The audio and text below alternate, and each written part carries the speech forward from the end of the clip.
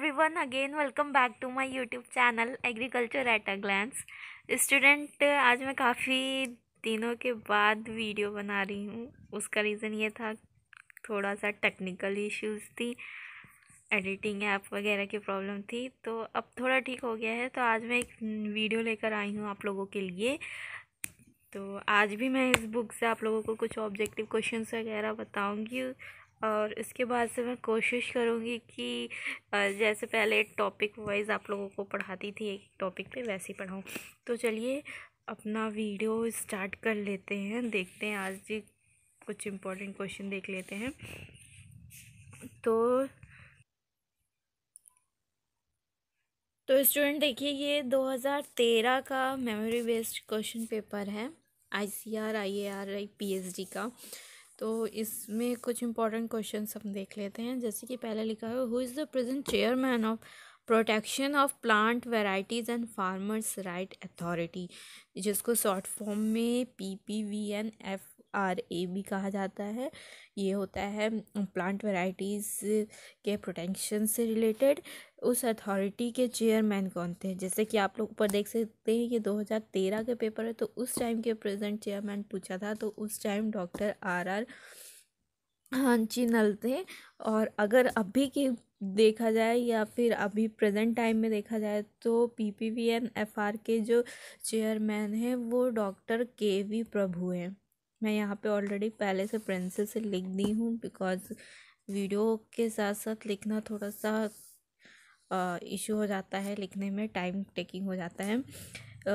Second question है which among the following is another name for vitamin B twelve vitamin B twelve का another name या फिर ऐसे कह लीजिए केमिकल नेम होता है जो, वो क्या है? तो विटामिन बी ट्वेल्व का आंसर होगा सी वाला कोबैलमिन और जैसे कि और ऑप्शन दिए हुए इसमें नाइसिन है नाइसिन को बी थ्री कहा जाता है विटामिन बी थ्री का अनदर नेम नाइसिन होता है। उसी तरीके से pyridoxal phosphate vitamin B six को कहते हैं और राइबोफ्लाविन विटामिन बी टू को कहते हैं। ये चारों जो ऑप्शन गिवन है विटामिन बी कॉम्प्लेक्स से ही रिलेटेड ऑप्शन दिए गए थे। थर्ड क्वेश्चन है the largest share in the India's farm export earning in the year two thousand eleven twelve was from वो कहाँ से था? गुरगाम से था, ठीक है? ये वैराइटीज़ दी गई थी उसी से रिलेटेड क्वेश्चन है और फोर्थ वाला क्वेश्चन है the national bureau of agriculture important insect was establish by I C R in dash was earlier known as national bureau of agriculturally important insect जो कि आईसीआर के द्वारा इस्टेब्लिश की गई है वो कहाँ इस्टेब्लिश की गई है? उस वो बैंगलोर में इस्टेब्लिश की गई है और बाद में उसका नाम क्या पड़ा था? बाद में वो आ, बाद में नहीं सॉरी पहले पूछा हुआ है पहले उसका नाम क्या था? तो उसका नाम था project directorate of biological control control ये भी मैं पहले से लिख दी हूँ यहाँ पे। क्या था पहले? Project directorate of biological control ठीक है? अब ये एन बी आर के नाम से जाना जाता है। National bureau of agricultural important insect जो कि सिचुएटेड है बेंगलोर में। अब हम लोग अपना फिफ्थ क्वेश्चन देख लेते हैं। लिखा हुआ है the most important sucking pest of cotton and rice are respectively most important sucking pest जो सक करते हैं, कॉटन और राइस में, उनके नेम पूछा था तो सारे ऑप्शन में दो दो मीन्स कॉटन और राइस दोनों पूछा है तो दो दो ऑप्शन गिवन थे। तो इसका जो आंसर भी है, Aphis gossypii and Thrips oryzae. ये सकिंग पेस्ट है, ओराइजी, जैसे कि ओराइजम सेडाइमम राइस का बोटानिकल नेम होता है तो उसी से एक तो आप अंदाज़ा लगा सकते हैं, ओराइजी लिखा हुआ है।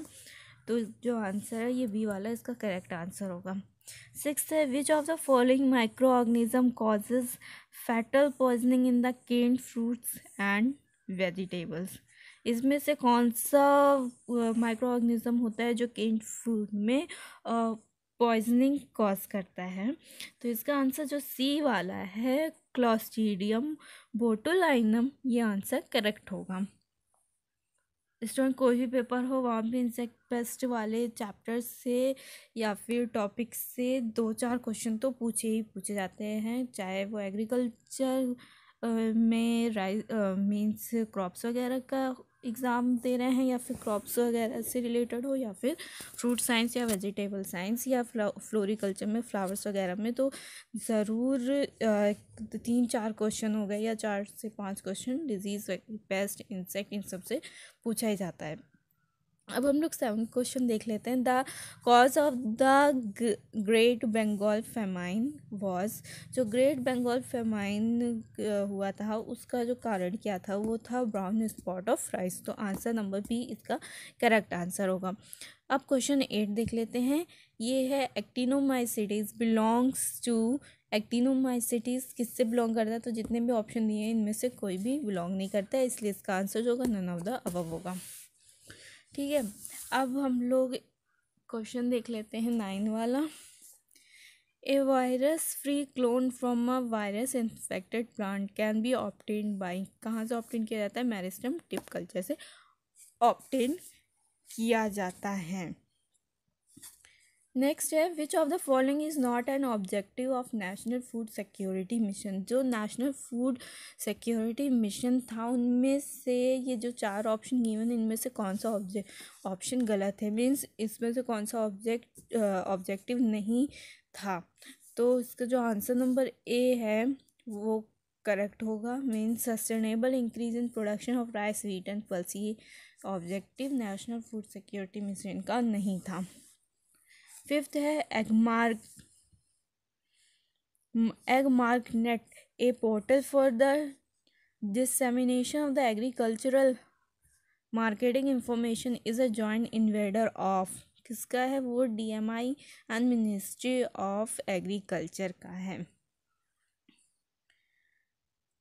अब यहाँ पे हम लोग कुछ क्वेश्चन देख लेते हैं। ये फोर्टीन वाला जो क्वेश्चन है farmers first concept was propose by farmer का जो फ़र्स्ट कॉन्सेप्ट था, वो किसके द्वारा प्रपोज किया गया था? तो इसके जो कुछ ऑप्शन गिवन है, यहाँ पे आप लोग देख लीजिए।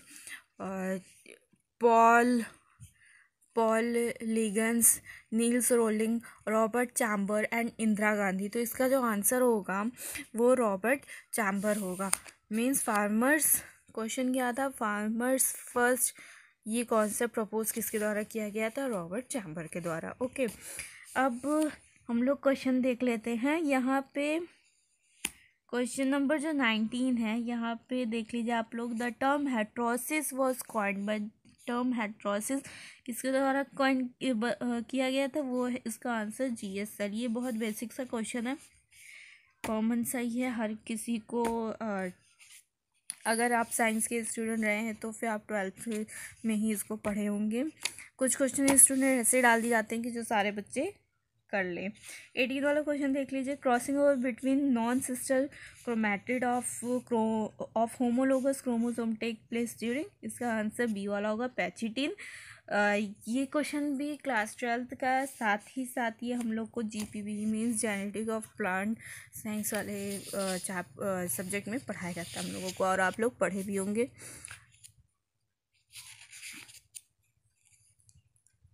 अब हम लोग कुछ क्वेश्चंस और देख लेते हैं।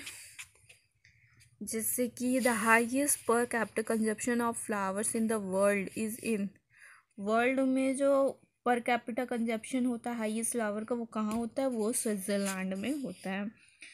ट्वेंटी टू वाला क्वेश्चन देख लीजिए। Which of the following is a very rich source of betalain pigment betalain pigment का सबसे रिच सोर्स कौन सा होता है? इन ऑप्शंस में से रेडिश कैरेट रेड कैबेज और बीटरूट तो बीटरूट इसका करेक्ट आंसर होगा। ओके स्टूडेंट एक यहाँ पे ट्वेंटी फाइव वाला क्वेश्चन देख लिए। Which of the following fertilizers is not produce in India इसमें से कौन सा फर्टिलाइज़र इंडिया में प्रोड्यूस नहीं होता है? तो उसका आंसर होगा muriate of potash muriate of potash जो जिसको एमओपी भी बोलते हैं, ये इंडिया में प्रोड्यूस नहीं होता है। बाकी D A P diammonium phosphate urea और टीएसपी ये तीनों प्रोड्यूस होते हैं।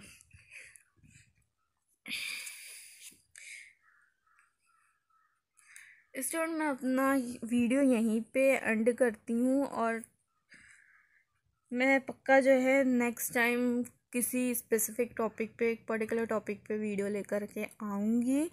और कमेंट सेक्शन में भी मैं देखिए आप लोग बहुत सारे कमेंट किए, एक वीडियो पे कमेंट किए थे कि इस टॉपिक से मैम वीडियो डालिए तो मैं नेक्स्ट टाइम कोशिश करूँगी कि आप लोगों के कमेंट सेक्शन से ही क्वेश्चन वगैरह उठाकर या फिर टॉपिक उठा करके उस पर वीडियो बनाऊँ। तो अपना वीडियो मैं यहीं पे एंड करती हूँ। अगर आपको वीडियो अच्छी लगी हो तो प्लीज़ एक बार लाइक ज़रूर करिएगा और अपने फ्रेंड सर्कल के बीच में प्लीज़ एक बार शेयर कर दीजिएगा। और अगर आप मेरे चैनल पर नए हैं तो सब्सक्राइब करना मत भूलिएगा। Thank you